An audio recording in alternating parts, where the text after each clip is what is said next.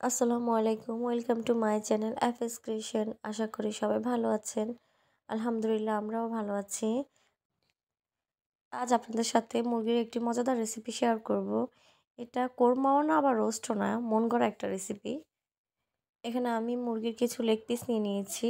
আপনারা চাইলে যে কোনো ছোটো বড় পিস নিয়ে নিতে পারেন। তবে মাঝারি সাইজের পিসগুলি হলেই ভালো হয়।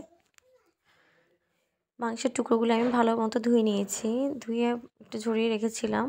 এখন আমি এটা কাটা চামচ দিয়ে ভালো করে একটু কেচে নিব। দেখতেই পাচ্ছেন? আমি একটু হালকা হালকা করে কেচে নিব। একদম খুব বেশি যে কেচবো এটাও না।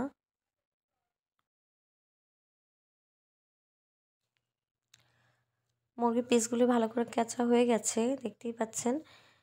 এখন আমি এখানে সামান্য একটু হলুদ আর একটু লবণ দিয়ে মেখে নিব।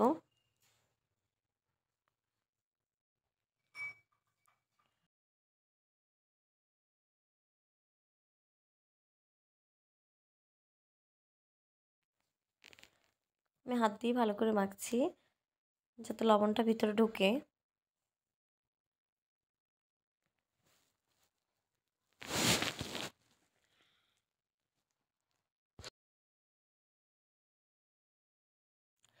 মেখে আমি পনেরো বিশ মিনিটের মতো রেখে দিয়েছি।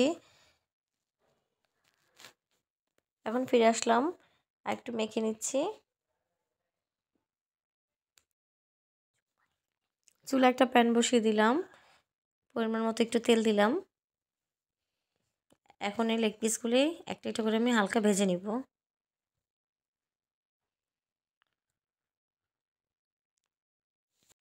একটা একটা করে আমি দিয়ে দিচ্ছি।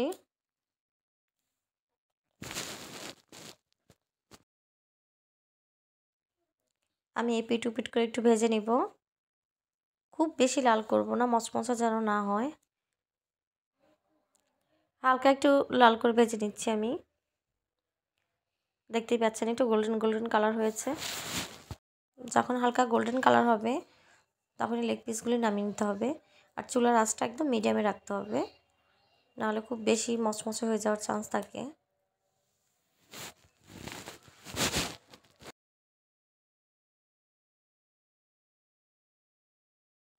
আমি সবগুলো টুকরো উঠিয়ে নিব। এভাবে একই রকমভাবে আমি বাকি টুকরোগুলিও ভেজে নিব। আমার সবগুলি মাংস ভাজা হয়ে গেছে। আমি এখানে চুলা একটা পাত্র বসিয়ে দিয়েছি। এখানে আমি মাংস ভাজার তেলটুকুই দিয়ে দিলাম। আর এখানে দিচ্ছি আমি এলাচি, দারচিনি, তেজপাতা। আর এখানে আমি দুই কাপ পেঁয়াজ বাটা দিয়ে দিচ্ছি। আমি পেঁয়াজের সাথে পাঁচ ছটা মরিচও ব্ল্যান্ড করে রেখেছিলাম, ওগুলিও দিয়ে দিলাম। একই সাথে ব্ল্যান্ড করে নিয়েছিলাম। দিয়ে দিলাম এক চামচ আদা বাটা।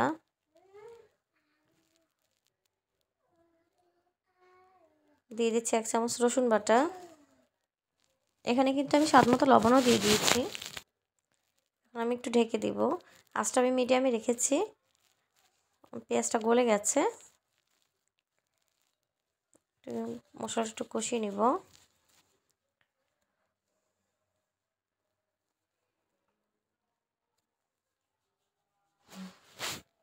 আমি এখানে দিয়ে দিচ্ছি আধা চামচের মতো ধনিয়া গুঁড়া। জিরা গুঁড়া।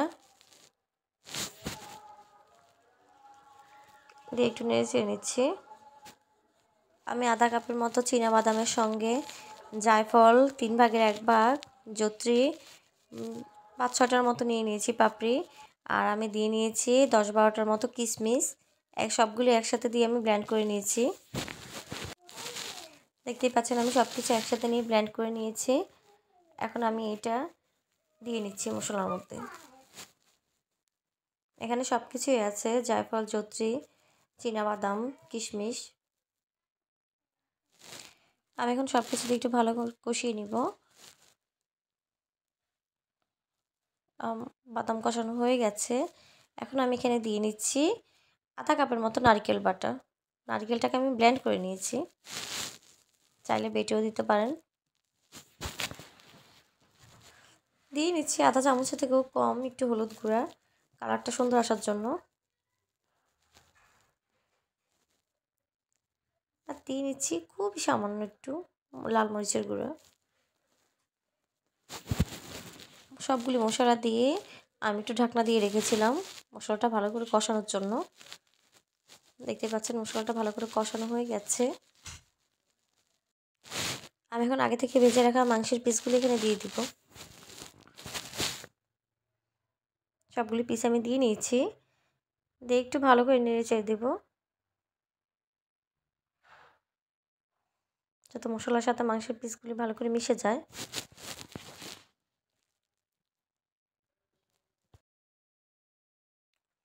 আমি ভালো করে নেড়ে দিয়েছি।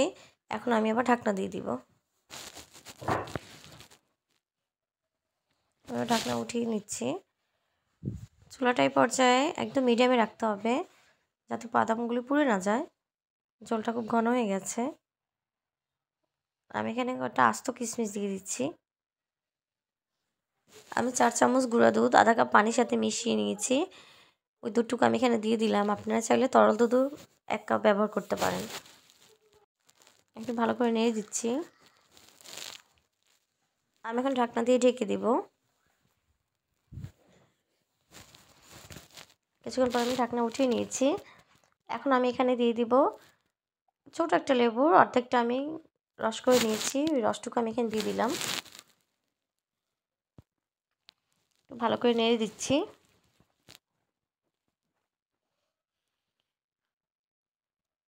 আমি এখানে এক চামচের মতো চিনি দিলাম ব্যালেন্স করার জন্য। এখানে এক চামচ চিনি অবশ্যই দিতে হবে, চিনিটা দিলে স্বাদটা বাড়ে আর সব কিছু এটা ব্যালেন্স হয়ে যায়।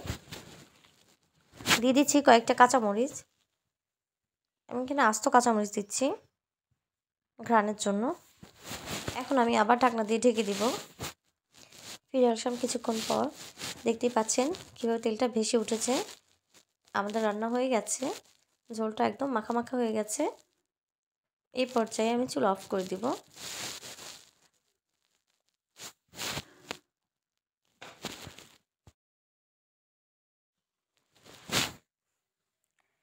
তৈরি আমাদের মজাদার মুরগির রেসিপিটি এটি আপনি পোলাওর সাথে কিংবা পরোটার সাথেও খেতে খুবই মজার।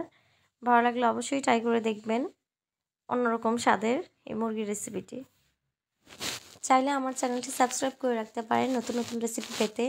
দেখা হবে পরবর্তী কোনো ভিডিওতে নতুন কোনো রেসিপি নিয়ে। আল্লাহ হাফেজ।